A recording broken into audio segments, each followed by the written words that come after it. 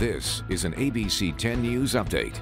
Hello there, I'm Virginia Cha with this ABC 10 News update. Well, despite warnings, a lot of people are still traveling, leaving health experts worried that Thanksgiving gatherings could lead to another surge in coronavirus cases. Although it wasn't the typical jam-packed crowds at Lindbergh Field 24 hours before Thanksgiving, there were still many hopping on last-minute flights yesterday. AAA estimating nearly 4 million Southern Californians will travel, 3.5 million by car and about 270,000 by air.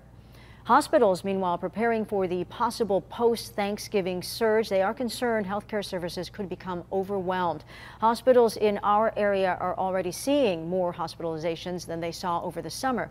The latest numbers show we have more than 530 people in the hospital because of COVID-19.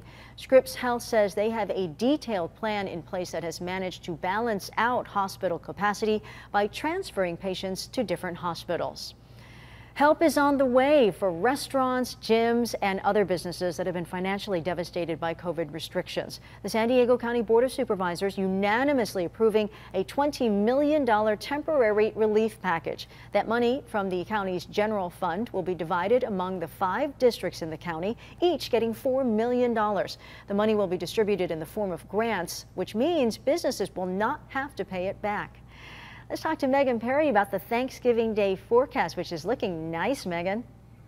It really is, especially for anybody that is going to be celebrating Thanksgiving outdoors today. Temperatures trending near normal all across the county and a few degrees below normal for some spots.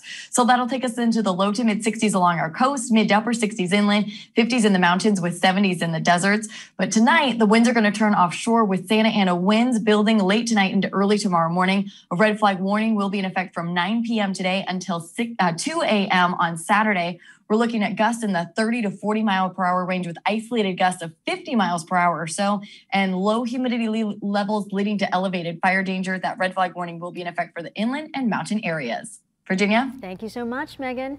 For the latest news, weather, and traffic, just go to 10news.com or you can download our free app from your app store. For ABC 10 News, happy Thanksgiving. I'm Virginia Cha.